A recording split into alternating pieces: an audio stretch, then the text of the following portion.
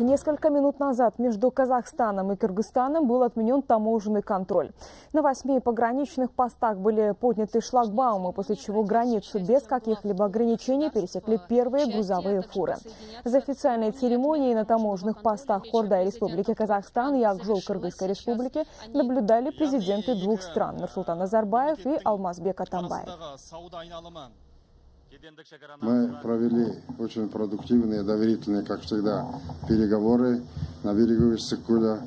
И сегодня знаменательное событие. Открыли границы таможенные между нашими странами. Это поможет оживить бизнес со двух сторон, оживить торговлю между нашими странами, выполняя условия договоренности, которые мы достигли в рамках Евразийской экономической комиссии, мы будем двигаться дальше и уверен, мы увидим результаты положительные этого всего дела. Отмена таможенного контроля связана со вступлением Кыргызской республики в Евразийский экономический союз. Свободное перемещение товаров и транспортных средств через границу позволит устранить административные барьеры и тем самым увеличить взаимный товарооборот. Сейчас идет кризис.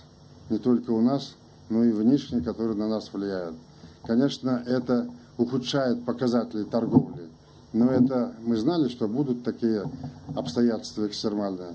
Но в далекой перспективе этот союз и вот эти вот вопросы, которые мы решаем, приведут к улучшению благосостояния наших народов.